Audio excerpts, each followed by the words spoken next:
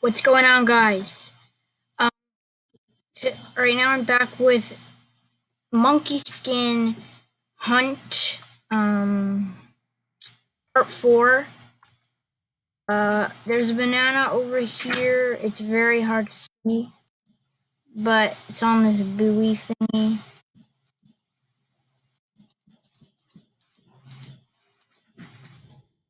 So there I got it. So, and then there's one over here. Um, and over here.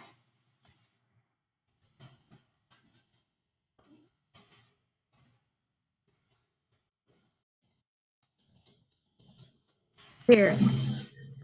I think I'll spectate it. Um, so as you can see, there was one over here, but I got it. And then there's one right over here. There's one right here. So I think that's that's all.